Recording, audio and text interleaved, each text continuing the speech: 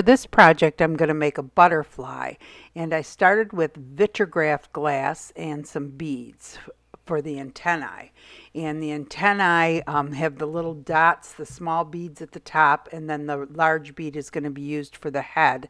And the Vitrigraph glass, which is long strands of glass that I uh, got on Etsy, I'm going to use for the body. And I honestly, I mess around with this for probably about 20 minutes trying to figure out what to do um, for the body and I thought I had it here but I think that that uh, glass is just too thin so I end up kind of cutting a bunch of little pieces and putting them together to make a body.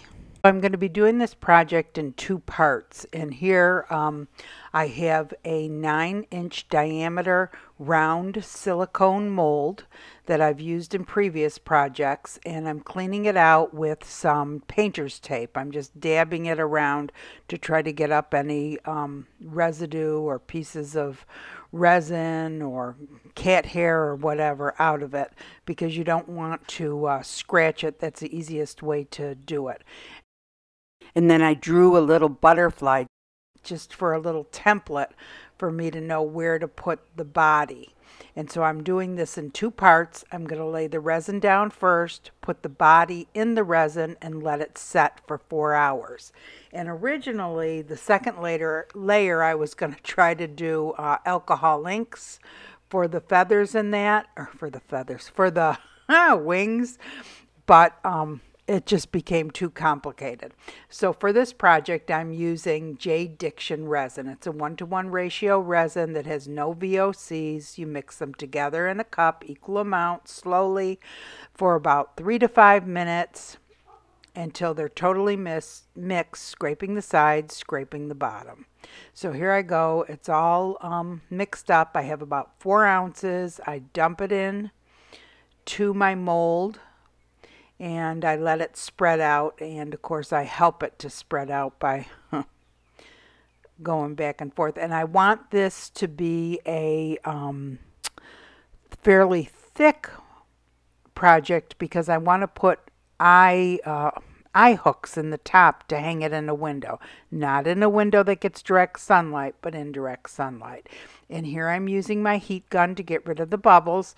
And this is actually an embossing tool. I like the embossing tool better than the heat gun.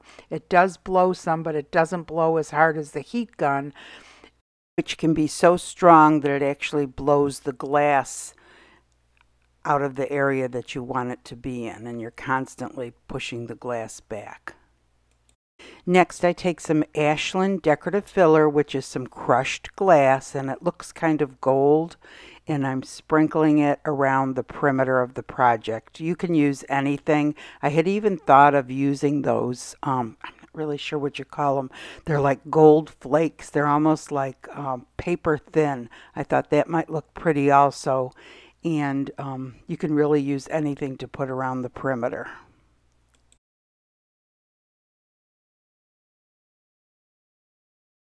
Next, I started putting the body and the antennae on.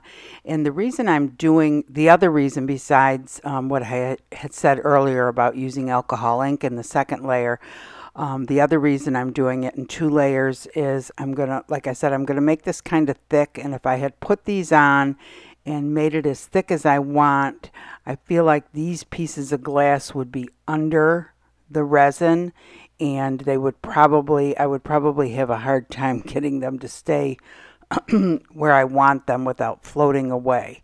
So anyway, um, I put the body on and then I let it set for four hours. And I actually took this out of the mold because that's when I was practicing with the mold, making the alcohol ink um, wings, which I uh, am not, I am not using. I'm going to use glass wings, but that is the reason why I popped it out of the mold. Otherwise, you should probably leave it right in the mold. So here I am um, now cutting the glass for the butterfly wings. So I picked this glass piece up at a thrift store. I just thought it was so pretty. And I'm cutting it down straight because I want bigger pieces.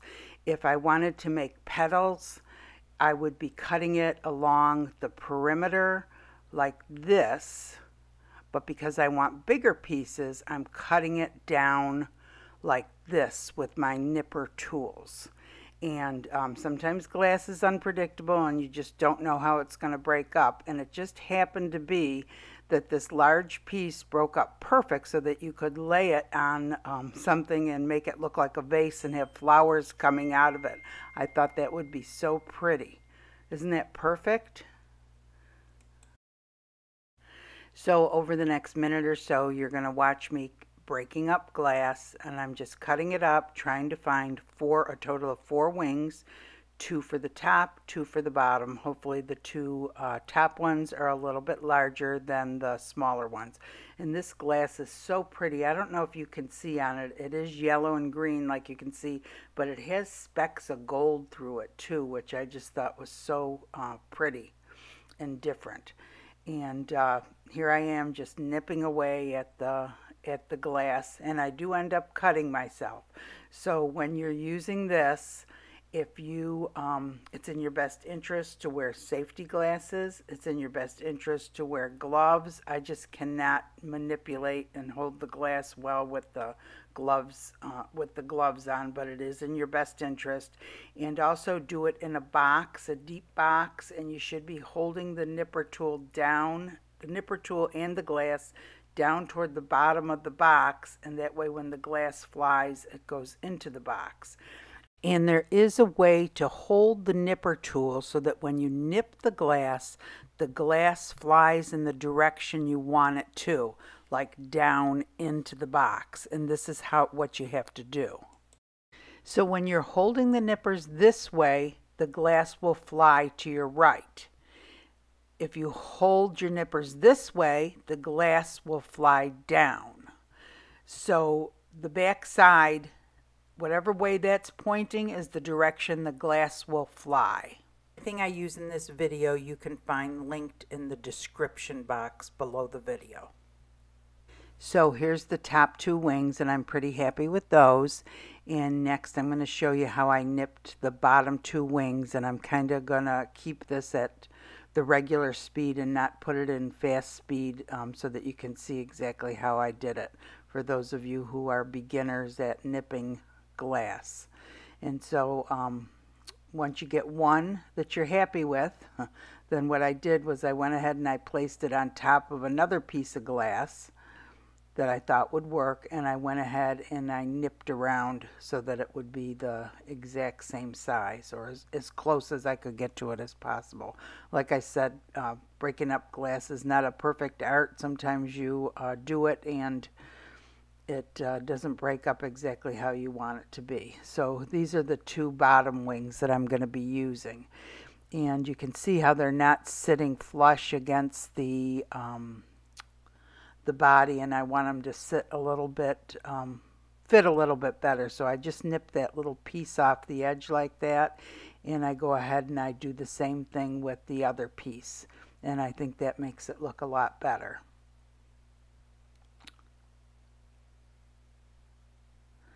So next what I'm going to do is I take them out to the garage, the four pieces. Now if you don't have a sander, that's fine. I mean, you could do it, leave it just like this. But I like to take it out and there's a lot of rough edges on it, so I'm sanding the edges down. But like I said, you do not need to do that at all. Um, you could even tumble those wings and then uh, put them on if you have a tumbler. You could sand them if you have a sander. And if you don't have either, don't worry about it. So um, just you just have to remember that the edges will be sharp. So here I am, I turn the sander on and um, really it just takes a minute and I go all the way around the edges and uh, sand it down. And then after they were done, I washed them with soap and water and dried them off well, and now they're ready to go for the resin. The resin I'm using for this project is J. Diction resin. It's a one-to-one -one ratio resin. This particular resin you can demold in four hours. It completely cures in 24 hours. And I mixed up six ounces and all I'm doing is slowly pouring it over all of the glass. And um, I really wished I hadn't. So I had taken the the butterfly mold out of out of the mold when it had set because I was trying doing some experimenting with some alcohol ink. So in reality, you should not take it out because there is a risk when you pour the second layer that some can seep underneath and we really don't want that to happen. So I'm hoping that that doesn't happen. I've done um, something else this way where I actually popped it out and put it back in for some reason or another. But you're best off that the seal's still on it and then when you pour the second um, level of resin, it then it wouldn't get underneath it. So now I'm just using the heat gun or the embossing tool to get rid of the bubbles. And then this has to sit on a flat level surface for at least four hours. I will be leaving it here overnight. Uh, and it should be at temperatures between 70 and 80 degrees Fahrenheit. All resins are different, so you need to read the directions for the resin that you are using. And it's all done. I'm going to take it out of the mold now and I think it turned out so pretty. I love these colors. Then my husband drilled a couple holes in the top where I wanted to hook the eye hooks to so that I could hang it. And this is only if you want to hang it. You don't. You could put it in a stand or lean it on a shelf if you want. And um, then, of course, we had to put the eye hooks in. And I just love the way it turned Next, out. Next, I was hunting for a chain for my um, to put through feed through the eye hooks and I have a ton of junk jewelry this bunch I really haven't sorted through yet but I did manage to get these uh, this necklace out and uh, pull it apart from this whole pile of jewelry that's tangled up and um, after I untangled it and took the one piece off I was able to feed it through the eye hooks and then connect it together at the top with a little um, gold ring and use my little jewelry tools to push it together. And didn't that turn out cute? Hey everyone, another one. I'm doing several of these on the rounds and I just think they look so cute. And like I explained in my other videos, if you saw them, I don't know if you did, that um, the the uh, reason I started doing them on this was I was looking at some different um, fused glass projects where they take um, clear glass and layer it with colored glass and fuse it in a kiln and you know it has no frame around it just like this and I thought geez we could do that with resin so um, this stands up a little bit more than a regular fused glass would because it you know it would lay flatter but I just think it's so cute. I love the, uh, you know, the you can hang it in a window, looks pretty from the back, from the front. And when you're doing something like a butterfly or even like a dragonfly, I think it looks um, so much prettier if you can find the colored glass to do it with instead of a solid color. Uh, what do you guys think? So, um, the other thing was, if you've watched my other videos, you saw that I had purchased a stand also on Amazon, which um, if you don't want to hang it, you could put it in something like this. And I will put everything in the description. So the this stand is an eight inch stand.